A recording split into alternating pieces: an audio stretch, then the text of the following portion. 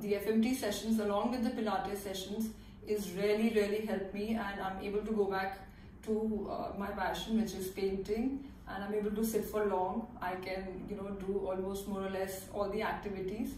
Um, so yeah, I'm very happy. You know, it was not only about having a therapy and getting me straight.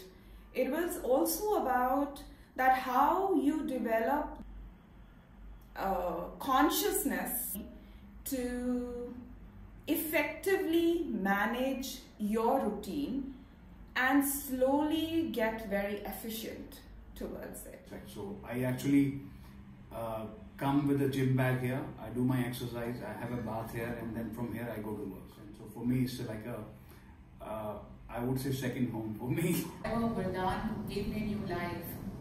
The therapist at their center did a fantastic job. They designed a customized program for me that helped far beyond just recovery from my injuries. Vardan brought me to normalcy. Vardan won't fail you. I can only say thank you, Vardan.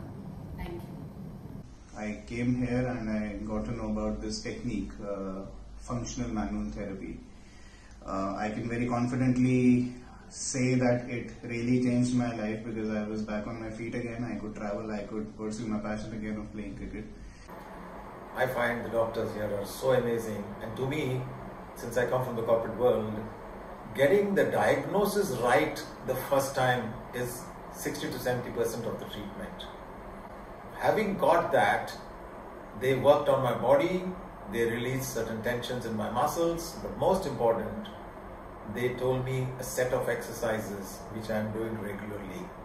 And I'm so delighted, and I would have actually sent at least 15 to 20 of my friends here who have had similar problems and have had similar experiences of not getting good treatment elsewhere.